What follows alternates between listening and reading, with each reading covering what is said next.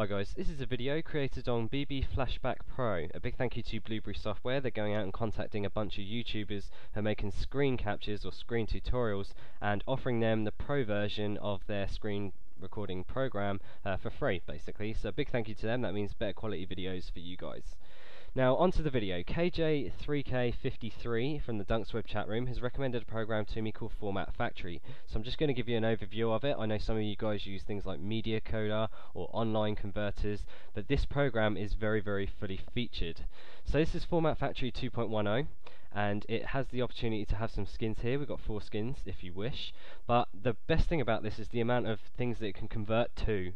So on the left hand side you can see we've got video, we've got audio, we've got picture, ROM device, and advanced. Now I'll run through these other options in just a second. If I just go through all the different ones, you can see all these different video formats that you can convert to. We've got MOV in here, MKV, WMV, we've got uh, 3GP if you need to, or you can even just go to mobile device or MP4 or AVI.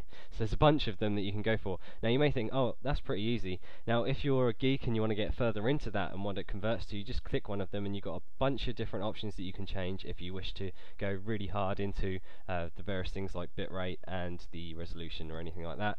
We've also got options here, as you can see we've got Asus, Archos, a bunch of different mobile devices if you wish to uh, record them to that, and then you simply drag your files in, click the OK button, and then we're done, we're ready to convert. Now, if we go into the audio here, you can see we've got pretty much the same thing. You can have uh, WAV, we've got OGG, M4A, AMR, AAC, a bunch of different ones you can also do here. If we go to picture, I've got ICO, BMP, GIF, so all the ones you'd expect to see in a media converter, this one has got it. Now the ROM section was pretty interesting. It has the option to go from DVD to video file. Now if this actually I haven't really tried it, but if it could actually be used as a uh, DVD ripper. So if you try and put your DVD in, rip it to a video. Now I'm not sure if this is for unprotected DVDs or if it's um, if, if it just does any. Uh, be sure to let me know in the comments if this does work for you. You've got the opportunity to do music CD to audio files, so if you want to rip those MP3s, you can do that in Format Factory. We've got DVD to ISO or CD to CSO. Now I assume CSO is for the PlayStation format, I believe they use CSOs, so these two options will be very handy for you.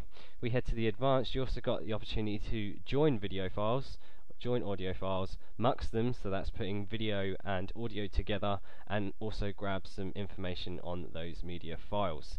So if we go to the options, you can see we've also got quite a lot of things here that you can customize if you want, adding subtitles, special things between various formats. So well worth a download. If you want to check it out, it's Format Factory. I'll provide a link in the description. So thanks for watching my video. Please comment, rate, subscribe if you like my videos, and thanks again.